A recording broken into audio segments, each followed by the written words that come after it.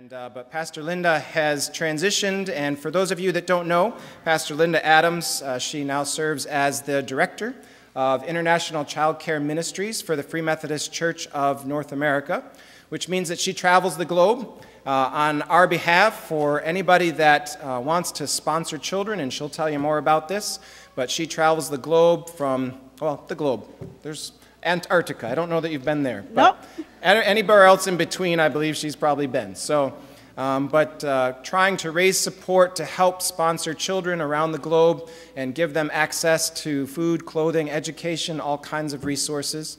Uh, so we are privileged in, in some respects, still feel a lot of ownership that we sent her out to do that work Amen. and that mission. Amen. And uh, so she's back to kind of share that story with us today. So uh, without much further ado, you guys uh, just welcome Pastor Linda this morning. Amen. I'll start with a video. Actually, yeah, we're going to start with a video, Dave. Go ahead.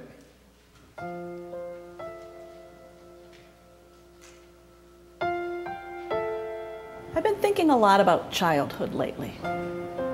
Maybe you could picture mine with me.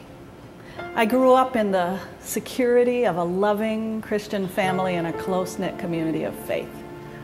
I completely took for granted an environment of political peace and security, and I never went to bed hungry or even wondered whether my parents would have the ability to provide for me and protect me. My world was small and safe. I played with my friends, hung out with my classmates, went fishing with my dad, cooked with my mom, played around with my sisters, and adored my baby brother. I had no idea back then that one day I would experience firsthand the very different reality for over half of the world's children in the 21st century. Most kids in the world today don't assume they'll get to go to school. That's a privilege that's just out of reach for millions of them, especially girls. Predictable, daily, nutritious food, unimaginable. Safe drinking water, access to medical treatment or immunizations. Many kids don't even know that they're missing those things. Their tangible dreams are just for another plate of rice or a pair of shoes.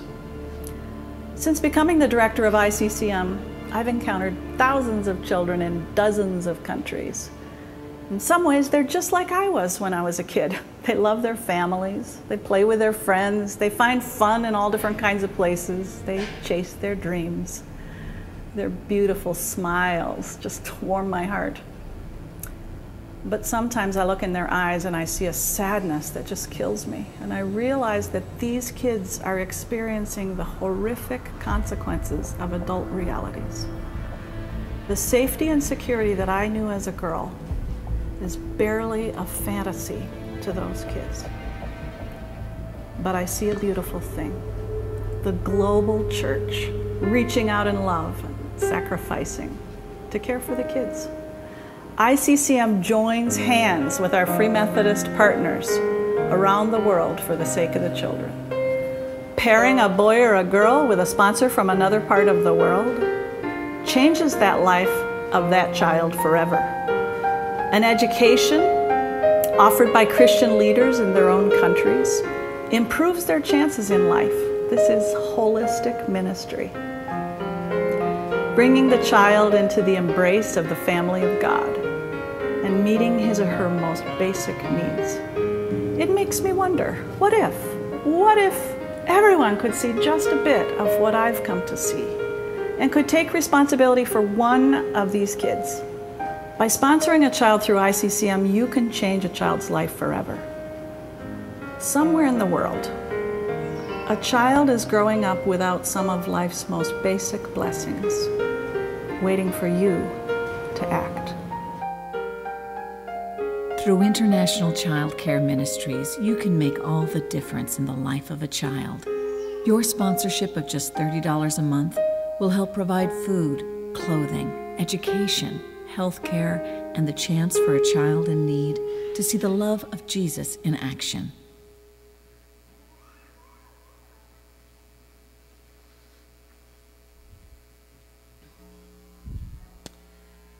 Good morning, New Hope. Wow. I can't believe how wonderful it is to see your faces. A lot of you look familiar, and I'm so glad for those of you that I've known for years. We grew up together here. Some of you, I, re- I baptized you, I dedicated you when you were born. And I'm just as thrilled to see new faces because the place, you know, dies out without fresh blood. And God brings new members into the body with gifts and energy and, and life. And so I'm really grateful that I don't recognize all the faces after I've been gone for six years. You know, I just want to say a few words, kind of, yeah, off before I get started. Um, I kind of want to kick off my shoes because it's holy ground. It's holy ground. You know, I don't believe in like the sanctity of bricks and mortar. Like, this is a temple built by human hands, and that's not where God dwells. But when even one of us walks in here and he comes with us, something happens. And in this very room, God has spoken to us. We have celebrated amazing victories. We have made vows for a lifetime. We have wept over losses. We have mourned our own sins at this altar and been forgiven. This is holy ground. And it's just such a pleasure. I'm just kind of blown away to be back. Be it ever so humble, there's no place like home. and I told the band already this morning that I miss them 52 days a year. Guess what day of the week that is? what wonderful singers and worship leaders you have here. Thank you, Pastor Scott, for giving me this chance. You know, I was scheduled to be with you last June, and it happened to be the weekend that my mom was promoted to glory. So we had a funeral that weekend, and I didn't come here, but we knew that this day should come. And then we thought about coming for next weekend, which is a big deal. I wouldn't miss that for anything. I would fly from Timbuktu to be here next week. That I should just come today and then have a few days to reconnect with people and just spend time with you. So I'm just glad to be back. I'm going to, if you'll indulge me, I'm going to be a little bit autobiographical. And Heritage, I, forgive me, I was going to ask your permission before I tell this. Okay, but I didn't get a chance, so I trust you, you trust me? Okay. Okay. Once upon a time, there was this crazy little church landed on North Union Street once after we moved together. We started out the German house and we marched over here one day. Remember the first Sunday in here? It didn't look like this at all. It was a construction site people were afraid. Those who were cautious about insurance and stuff really didn't think we should be in the building while it was still a construction site, but I didn't want to pay another month's rent over there. so we came when it wasn't quite ready. And once upon a time, there was this church that was running an experiment that you could, you could combine different tribes of Americans in one church. And you could worship in the city and then one day in 2007, the month of May, this family walked into the church. Oh, yeah. And God ramped it up to another level of experiment. Because now we just don't have American tribes who don't always get along with each other. The Lord brings us one, and then two, and then other people from different nations and tribes and languages. And Prudence came walking right up here after the service with Heritage, who spoke a little English. And Prudence said to me, We are orphans. We have no mother, no father. No motherland, no fatherland. The Free Methodist Church is our family, and you are our mother. And I remember thinking, but I think I need to be older than you to be your mother. and I didn't know what to say. And I said, Welcome home. And I didn't know that God was going to use that day and that new set of relationships to transform me and open my eyes to the rest of the world in a new way. You know, you are a deeply globally connected church. You have sent people all over the world, and I'm just witnessing that I'm one of them. So today, I'm going to give you a little shareholders report on your investment, okay? And for the kids, I want to introduce you to some of your sisters and brothers all over the world. And I'm going to show you some pictures of those kids. But I have to tell you about my encounter with Heritage. First week here, Heritage asked if he could have a key to this church. And I said, I don't think the trustees are going to be passing out keys. Why do you want a key? he said, Because I want to come and pray all night. And I said, Well, why can't you pray at home? He said, Because there's 11 people in the house and I pray loud. they want to sleep. and I said, Well, this room is pretty much empty all day long. I'm up there in the office, but you can come here anytime I'm at the office and you can pray as loud as you want right in this room. And he came and he started praying for eight hours a day. Sometimes they came out here and he was shouting glory and he was dancing and singing and praising God. And there were times when I came out and he had his Bible open and he was praying God's promises back to him. And sometimes he was prostrate on the floor weeping, moaning and groaning. And sometimes I came in here and prayed with him. We knelt at this altar on my lunch hour. I was real spiritual. I gave one hour. I thought, wow, I fasted even. I didn't even eat my sandwich. I came down here and I'm ready to leave at 1 o'clock, and Heritage says, Basta, this is your job. And I said, But I thought my job was to answer my emails. you know, I got to do the bulletin and I got to do the agenda for the AC meeting and I got to work on the sermon. And, you know, he said, Basta, prayer is your job. And they taught us a lot about prayer. That first Sunday night, when they all showed up for prayer meeting, they doubled our crowd. And they said, Where's everybody who was here this morning? And I said, Well, this is who comes to prayer meeting Amy Grillo. She never misses, and there's a, half, a handful of us. And he said, Well, are they Christians? I said, Well, yeah, I think so, but they're Americans. they don't all come to prayer meeting like you do. So that began this interesting cross cultural sharing, right? Uh, we all had a lot to learn. They were gracious to learn a lot from us. We were privileged to learn a lot from them. And I could stop right there with this one slide and just talk, but this would take all day. But I want to tell you that I look back to May of 2007 and I realized that God was up to something bigger than I knew. Isn't He always? I have to tell you that one time Heritage said to me, Pastor, the Lord wants to speak to you in your dreams. And I said, Well, I'll try to listen, but I really don't know how to listen when I'm sleeping. So tell them to talk loud or something. I don't know what to do. And then it was the Sunday that Jessica Breitenbach was here, May 13th, 2008. She was here talking about her ministry in Namibia. And at 3:30 in the morning, I woke up with this dream. And uh, Oh, before I finish the dream, meanwhile, back at this, there was one other funny thing that happened before the dream. Very early on in their time there, they asked if New Hope could raise the money for windows and doors at the Minembwe church in the Congo. Because they said, we, we raised, you know, we, we built the building, we got the roof on it, it's got a dirt floor, we don't mind a dirt floor, but when the animals come through the doors and the windows, they do stuff on the dirt floor. And that rain comes through and turns it all into mud. And, you know, we just really need doors and windows.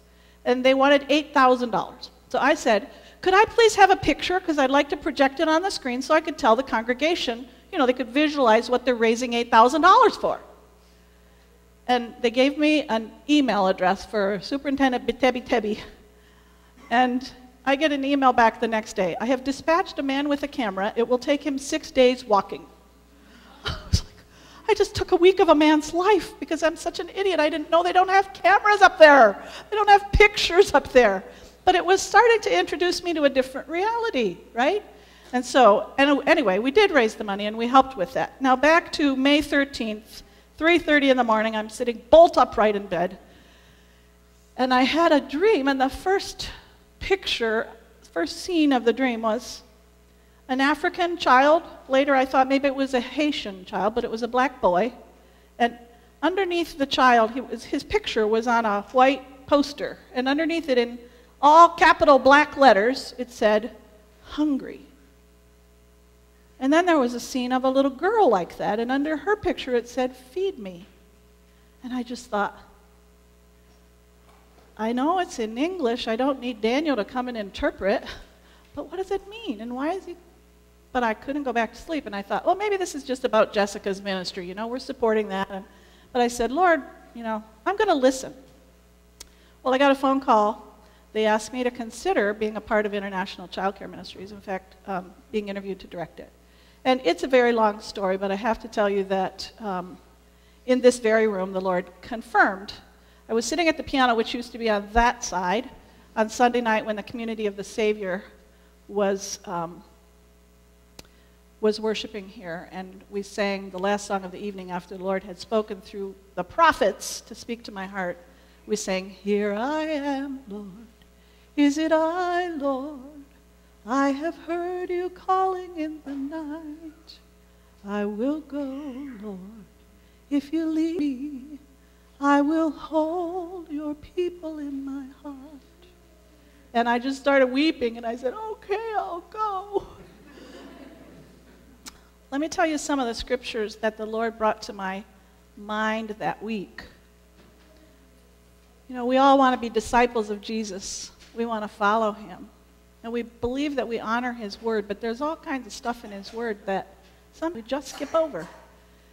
Here's one of those verses that the Lord impressed on me, and this is Bishop Golapali and his wife Tiba in India, who have thousands of children in their care. The Spirit of the Lord is on me because he has anointed me to preach good news to the poor. What a beautiful thing that the gospel is for the poor. This is, was the sin of your sister Sodom. She and her daughters were arrogant, overfed, and unconcerned. They did not help the poor and needy. And I just thought, wait a minute, I thought I knew the sin of Sodom. I thought that was one of those triple X rated sins. And now Ezekiel says that the sin of Sodom was that they're just like me arrogant, overfed, and unconcerned. And I was very convicted. And then this scripture. Referring to the good King Josiah, who became king at the age of eight, by the way, in the Old Testament. He defended the cause of the poor and needy, and so all went well. Is that not what it means to know me, declares the Lord? Now, this picture was taken in Burundi. You notice the bare foot on that girl? I have seen hundreds of children all over the world with one shoe. And I ask, why does she only have one shoe? Usually people say, well, she must have found it. No. If you give an African child a pair of shoes and their brother or sister doesn't have one, they'll share one. Why should I have two comfortable feet while you walk on the stones with both feet? We'll each have one comfortable foot. It's all over the place. That's the way they think about whatever they have. If it can be divided, in, they'll probably figure out a way to cut one in half and each, one, each wear a quarter. Okay? But back to this one, I said, Now, Lord, I thought I knew what it means to know you. I thought that it meant that when I worship you, I feel your presence. And when I read your word, it speaks to me. And when I pray, I connect with you. I thought that's what it meant to know you. But here he says that he defended the cause of the poor and needy. So all went well. Is that not what it means to know me, declares the Lord? And I had to wrestle with God on that. Is that what it means to know you? To defend the cause of the poor and needy? Justice, righteousness, it's all wrapped up. It's not just my relationship with God, just Jesus and me. And it's not even just us four and no more, right here, community. It's action, it's love and service and compassion and justice for the poor and the truly needy. This one's in the New Testament. Let's read it out loud together. Religion that God our Father accepts as pure and faultless is this to look after orphans and widows in their distress and to keep oneself from being polluted by the world. James 1:27. I had to say to myself, if this is the target on God's bullseye, I don't think I'm hitting the target. I look at any church's budget and I don't see any attention to orphans and widows, really. Now, yes, we have a social service safety net, we have other ways widows here can often earn a living, or maybe they have a life insurance policy from the deceased husband. There are things, but the church around the world takes this verse seriously. You know, we did a study of the Free Methodist Church in Rwanda a few years ago. The average pastor's family has eight children, five of their own, and three orphans. That's just average. You just scoop up the fatherless children and take them under your wing and provide for them. And the church around the world gets that. And then this one that's become kind of a life verse for me. Let's all read it out loud. Whoever welcomes a little child like this in my name welcomes me. Do you believe it? Do you want Jesus in your church? Fill it with kids because he says he comes with them. He identifies with them. Now, if you want a whole sermon from this passage that was read this morning, you have to come back at 1 o'clock. But Jesus takes it seriously when children are harmed and caused to stumble, too. He identifies with them. So our call is to reach and protect and bless and provide for little ones, starting with our own, starting with the ones in our own communities, in our own extended families and networks, and our own church. Get it? We start here. But there are millions in the world who also need our attention. And then this last one Let's read this one together from 1 John. We've all heard of John 3:16. This is 1 John 3 and I didn't put 16 up, but 17 and 18. It's all the same thought. Let's say it together. If anyone has material possessions and sees a brother or sister in need, but has no pity on them, how can the love of God be in that person? Dear children, let us not love with words or speech, but with actions and in truth. Love is so much more than a word and it's more than a song. We want to learn about how to put love in action. And I know that that is the centerpiece of this church. You want to love God, right? Love each other, serve the world. Loving service is what it's all about.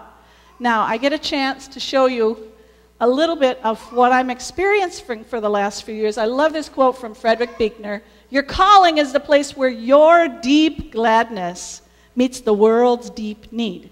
Now, I'm going to introduce you a little bit to the Free Methodist world. That's a part of that other all huge world that we inhabit. But you might be interested that in 1950, look at three quarters of the Free Methodists in the world were in the US, UK, and Canada, almost all in the US.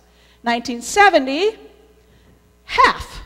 So it was 71,000 in the purple. That was the US, UK, and Canada. But now we're up to 45,000 in Africa. You notice the growth there? Now look at 1990 178,000 in Africa. More than half of the Free Methodists in the world by 1990 are on the continent of Africa. And we've, you know, inched up to 84,000 over here. And now look at 2013. There are 1.1 million members in the world, and 477,000, almost a half a million, are in Africa. And look at Asia, quickly catching up. 427,000, almost a half a million. And the next time we do these stats, Asia will overtake Africa. The church in China is growing rapidly. Church in India baptized 3,000 people in one day, just like the day of Pentecost. It's pretty exciting what God's doing around the world, and we get to participate, and you participate too. So, our organization is just a partnership connecting the global church. So we've got about 20,000 kids who are sponsored or on scholarship or awaiting a sponsor. Um, whoops, let's go back. There it goes. 20,000 kids, 30 countries, 12,000 sponsors, 77 schools, and we're celebrating our 50th birthday at General Conference in July. Um, and so now I've been to 33 countries because I've been to almost all the ones where we sponsor kids, and then I've been to some where we have sponsors. Now let's look at where the kids are. Oh, that's kind of pale, but the big, big, big one over there in the pale blue is Haiti. And then you see Burundi is our second largest country in the world. And then those are the other large ones and several small ones. So come and see some of my deep gladness. For the next six minutes, I'm just going to let the slides roll, and you can see some of the kids who are your little brothers and sisters, and I'll give you a little running commentary. That's supposed to go after five seconds. Let's see if it does. Well, I'll make it. So, this is our team working in Haiti. Haiti, you know, I could say a lot about Haiti, it's our poorest neighbor in this hemisphere. Let's just use this one statistic 50% of the people in Haiti have access to a latrine, not indoor plumbing, a latrine. Okay, we'll go from there. But look at that. The church in Haiti is running, we're running 59 schools where children are getting an education, and we have 17 students in a Christian university on scholarship which is really exciting. They're going to be a part of the 1% in the world who have a university degree. Now let's look at 37% of our total is in Africa. It's in all of those countries. I'll show you just a couple of them, a, a, few. Ethiopia. I met somebody this morning that used to live there. So we have some excellent schools, and the church is growing in a place that's really a battleground between Islam and Christianity. But it's a beautiful thing to see children learning not just the three R's, but learning that the God who made them knows them and loves them more than anybody else. And uh, they can learn to love him, their life. That would be Kayla Sittig's been to Kenya. Maybe some others of you. Okay, that's Kibera slum, second largest slum in the world after Mumbai. We've got four million people there with no electricity, no sanitation, no running water, and no schools. So we have a couple of schools there. And that's the really beautiful front entrance to our school. I'm proud of that one. oh dear. But that's the really beautiful site is the people who are involved. And the, the one in the middle with the really wild jacket is Bishop Nixon Dingil. And these others are the leaders of the school and the leaders of childcare. And the kids there at this school love the Lord and love going to school. And they have a waiting list of 350 kids. And the school director told me, you know, that these parents would send these children to school even if we never taught them to read and write. And I said, why? Well, the answer to that would be lunch. If you'll feed my kids lunch, please take my kid in your school. And so the children are really thrilled. And you know, I'm not going to give you a lot of stats today, really, just a couple. Let me give you this one 25,000 children will die today of preventable causes due to their poverty. Today and every day. So, feeding children is no small thing, is it? They need it. This is another of our schools called Kawangware. Did you go there, Kayla? Maybe not? Yeah. So, just more beautiful children made in the image of God. And boys will be boys. Check the zipper. yeah, but look at the, the face of Christ. Nigeria. Now, some of you heard about Phyllis Sortor being kidnapped a few weeks ago. There she is with her beloved Fulani children. And I spoke to her this week. She's fine. She's chomping at the bit to go back to Nigeria. She's home with Seattle, and they're giving her a hug for a while, but she's ready to go back because she's got a calling and a mission to reach. We have 600 Muslim children in our schools in Nigeria, and Phyllis loves every one of them. And God is doing a remarkable thing to bring peace between Christians and Muslims in Kogi State. The enemy tried to take a swipe at that by kidnapping her, but she's free, and we are excited that the work of God is going to go forward without being stopped by any criminals. Little girl graduating from kindergarten, and Bishop Kendall enjoying some of the beautiful kids. And me, you know, to have a bunch of little Muslim kids ask me for a Bible story. Boy, I haven't even ever had American kids ask me for a Bible story. Around the world, Auntie, give me a Bible story. And I love it. These are some other Nigerian kids just greeting you. Burundi. How many of you actually have been to that country? One, two, three, four, five, six, eight. Okay, let's see a few pictures from Burundi. Uh, this is Japhet's daughter. Some of you probably know Japhet. She's now teaching English at Hope Africa University. And you've seen the Burundi have their really wonderful cultural drumming and dancing and they can leap. I'm kidding, I'm not kidding, 10 feet in the air. I don't know how. They have springs in their feet, I guess. There's a thing called busoma, which is a highly nutritious porridge, and we do several tons a month of busoma because malnutrition is a serious problem in most of Burundi. I talked with uh, the late Bishop Eli once when I was in this region of the country, and he said, Well, the average uh, income, daily income for a family in Burundi is $2 but we work with the poor people. I could hardly get my head around that. but here we are, people lined up for. Any, any of you seen the busoma before or, or tasted it? I know Aristotle told me he tasted it. It tastes like Gerber's baby food. Yep, um, baby cereal. But it's highly nutritious, it's a whole food, and it saves kids from brain damage that comes from not getting enough calories. Okay? And so, big brother, he ain't heavy. He's my brother.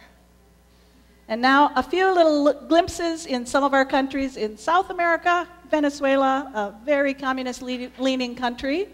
Oops, I didn't I got that one first. Okay, Ecuador, all dressed up in their different tribal get-ups. Nicaragua, where we have a school in Managua, and beautiful kids. It's called El Mesias, the Messiah School.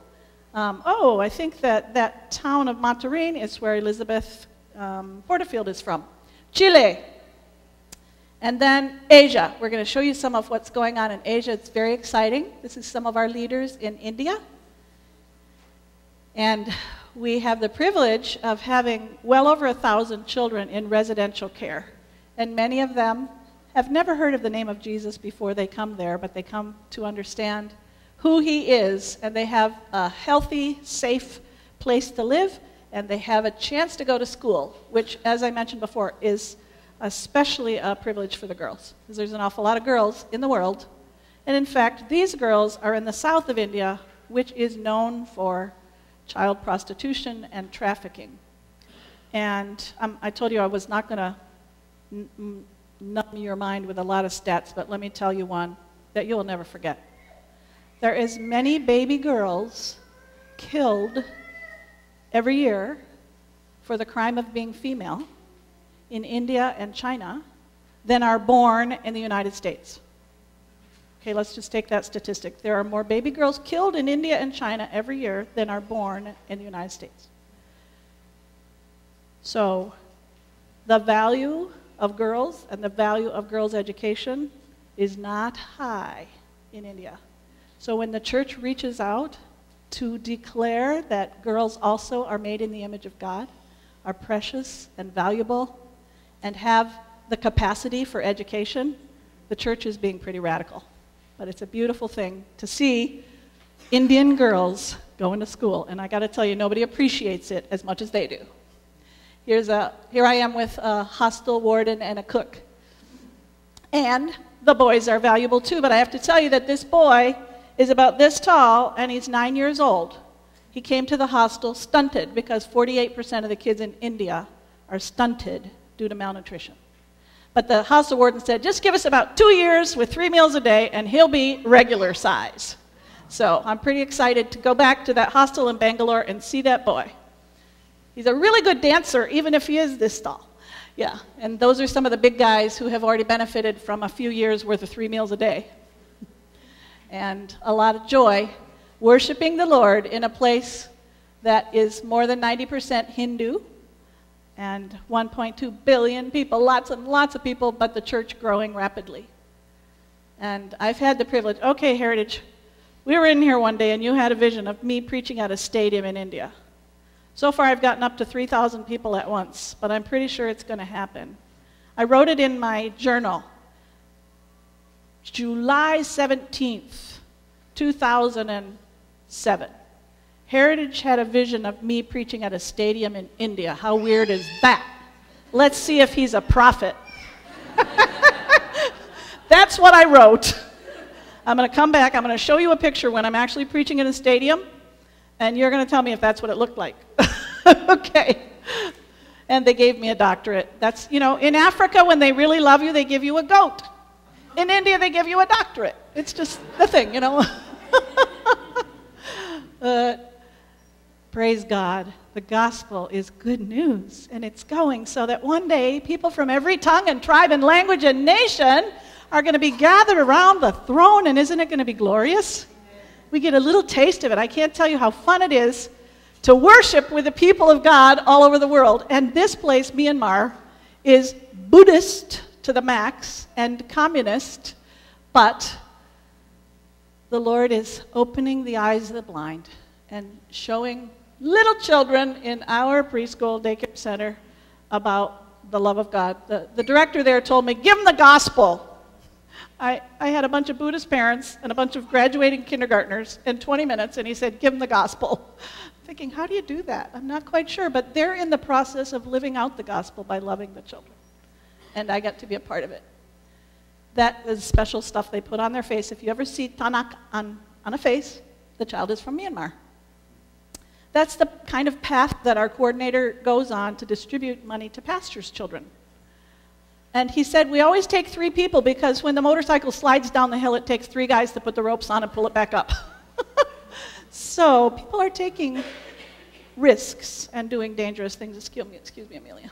Okay, and finally, the country of Vietnam And I don't have time to tell the great stories except that did you ever think that the communist nation of Vietnam would be open to the gospel of Jesus Christ?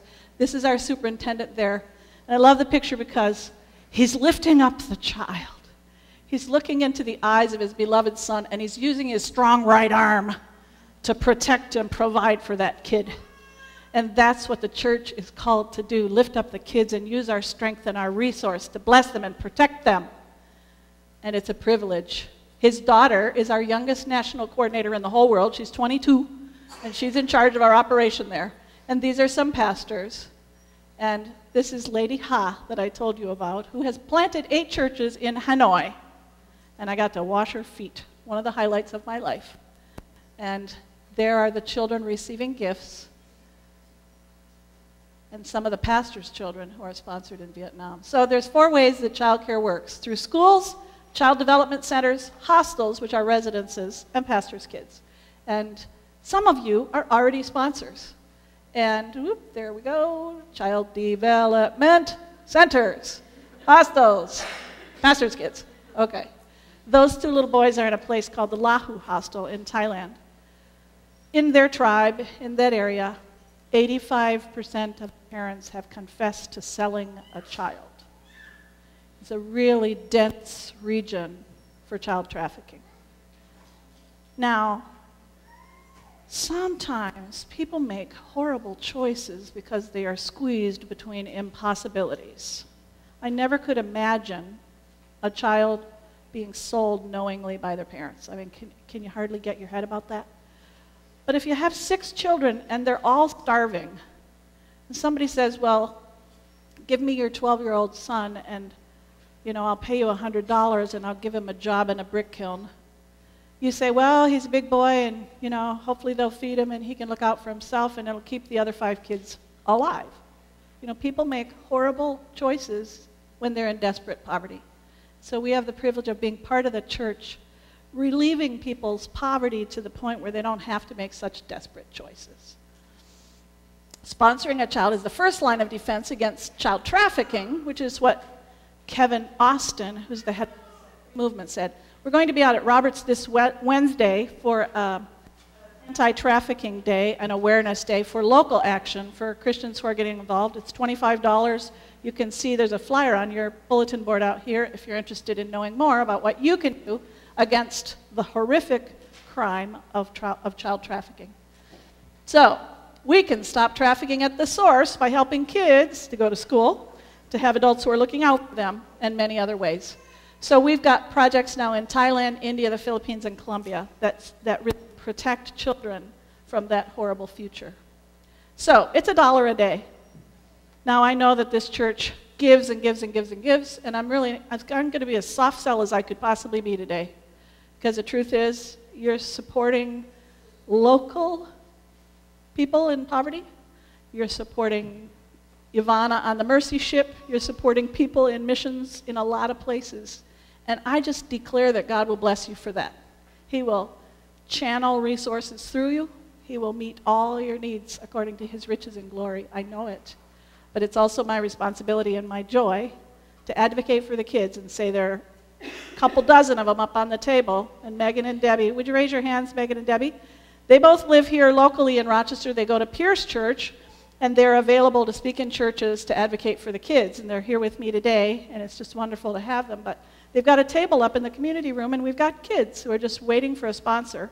And it might be that God would convince you that that's something you could do. A dollar a day. Here's the problem for me. Now that I know it's a dollar a day, every time I put some money in a Coke machine, I go, ooh, could have sponsored another kid. A dollar a day slips through my fingers like you can't believe. It's amazing how much money slips through our fingers, especially coins. And yet, there's another child whose life can be changed for that. So maybe you can do it, you know? So, there's a thank you that just says, you know, in any language you could possibly speak, and there would be many, many others. Thank you that some of you already sponsor a child. Thank you that you're recognizing the value of kids in your own midst and pouring your life into them to reach them because Jesus says, when you welcome a little one in my name, you welcome me. And don't ever cause a little one to stumble. You're pouring your lives into your own kids and grandkids, to your neighborhood kids, to the kids where you work the kids where you worship. And I just want to say, way to go, keep it up. God bless you. You're doing something that's so close to the heart of God. Every child you protect, Jesus takes it personally.